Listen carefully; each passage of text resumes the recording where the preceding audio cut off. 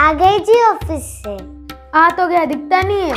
दिख तो रहे हो पर तुम बहुत बदल गए हो। मुझसे ठीक से बात नहीं करते हो। नहीं बस थोड़ी टेंशन है पर उससे तुम्हें क्या? तुम हमेशा अपनी टेंशन मुझसे छुपाते हो। मुझे बताओ क्या टेंशन है? हम दोनों मिलके कोई हल निकालते हैं। तुम कुछ तो बताओ परेशानी क्या है? तो लो सुनो।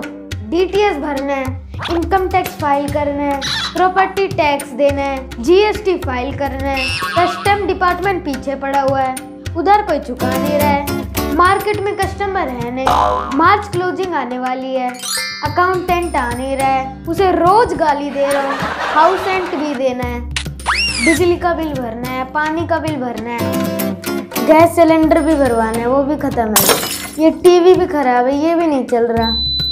बच्चों की फ़ीस भी भरनी है। वो पढ़ते तो है नहीं। अब बता क्या सोल्यूशन है तेरे पास? जी छोड़ो इस चीज़ को। चलो दोपहर को मारो, सो जाओ।